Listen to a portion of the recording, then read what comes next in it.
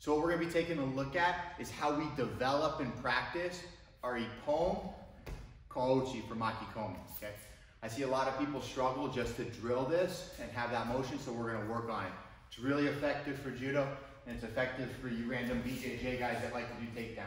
So, the big thing we're trying to do right now, start this way, is we wanna have our partner just off center. So as you can see, I'm over here. That way I can practice getting to the other side.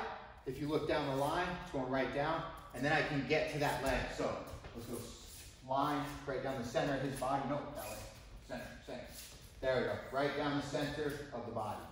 Perfect. And I want to start with my foot on the outside with my opponent saying I grip. Okay?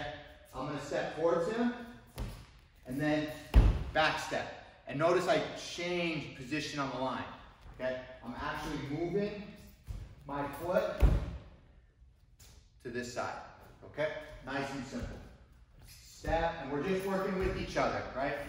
We're working with each other. Changing our angle. Changing that angle. Okay? Adding the hand. Moving that angle, okay? So that's part one to the Uchikomi. The next part is, let's go sideways is when he makes that advanced part with his leg, right? I push him, I get him to step. Notice this foot is behind him already, okay? So when my foot's at that top of the triangle and I push him and I get that pull, I wanna pull enough so that my foot can slide behind him. I don't want him, here, half step. I don't wanna be here where I backstep and I'm forced to go get it. You're always gonna end up shallow in that position.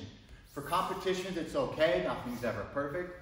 We deal with what we got. But when we develop and we practice the fundamentals, we do it right every time. Okay, so foot's at the top, I pull, it's passed, boom. I get a good solid base here with a squat and my knee is on the other side of his leg. I don't do this. This isn't right.